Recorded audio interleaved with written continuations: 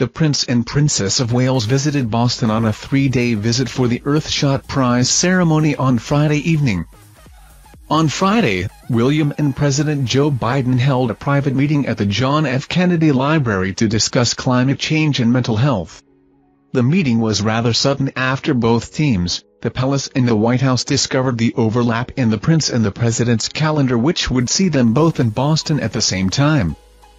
While William met with the president, the Princess of Wales embarked on a solo engagement at the Center of the Developing Child at Harvard University. The Wales's first visit to the United States in eight years has been overshadowed by a racism row at Buckingham Palace involving William's godmother, and the release of a teaser trailer of Harry and Meghan's docuseries with Netflix. The drama did not stop there, as protesters gathered at Boston Harbor to heckle the president and Prince William. The protesters accused the two men of being complicit in the exploitation of workers as the pair greeted each other ahead of their private meeting. The president joked with William about his incorrect clothes for the cold as he asked the royal, where's your top coat?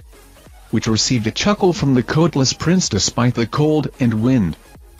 William admired the view across the water saying, what a spectacular setting as approximately 100 protesters gathered.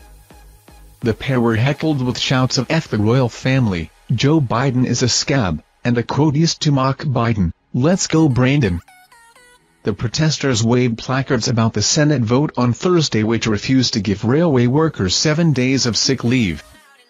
President Biden attempted to justify the decision which forced unions to accept an offer which had a lack of sick leave because it would prevent an economic disaster during the festive period.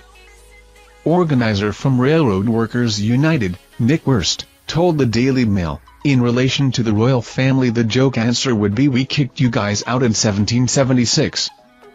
I would say to Joe Biden and Prince William watch yourselves. Workers everywhere are getting the short stick and are looking to fight back in the US and the UK as well. The fight is not over. Another protester, Claire Baylor from the Independent Socialist Group said, Our message to Joe Biden and Prince William would be workers will defend our rights that we're not willing to back down in this fight against massive corporations. She added that the president and the monarchy are complicit in the exploitation of workers in the UK and the US. Despite the complaints, a spokesperson from Kensington Palace said that the 30-minute conversation between William and Biden was warm, friendly and substantive discussion, the private meeting lasted about half an hour before Williams set off to begin the final arrangements for the Earthshot Prize ceremony later that day and the president attended a fundraiser for a Democratic candidate in the Senate runoff election in Georgia next week. The prince thanked Biden for attended Queen Elizabeth's funeral in September and the pair exchanged memories of the late monarch. The president was also reportedly keen to learn more about Williams' Earthshot Prize and the projects behind the 15 finalists.